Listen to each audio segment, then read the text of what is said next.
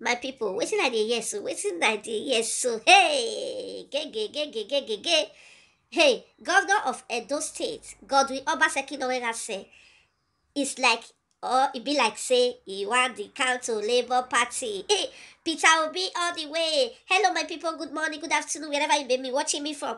Yes so i don still come again. This is your sister your girl your friend favour olamide. Welcome once again to my channel. Thank you all for watching my video. God bless you all. Yes my people this is another video i just got. I listen. I say I've been i mean not hear the english way they speak. You say in america if you go school. My people may i give una the video? May una come wow may una tell me how una see this video? How una see this video?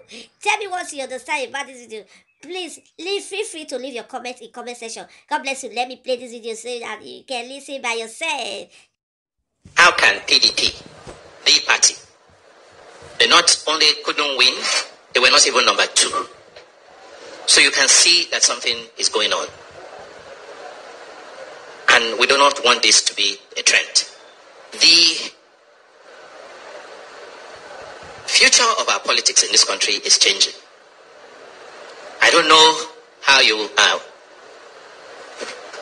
whether you are closely watching what is going on. The level of disenchantment with existing parties. I'm sure in all our homes here, we have so many people now who call themselves Obidients. I don't know whether you have them in your house.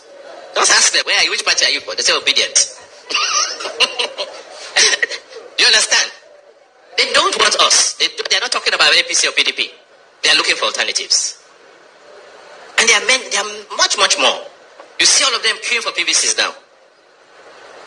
They are not looking the direction of APC or PDP. They are looking for alternatives.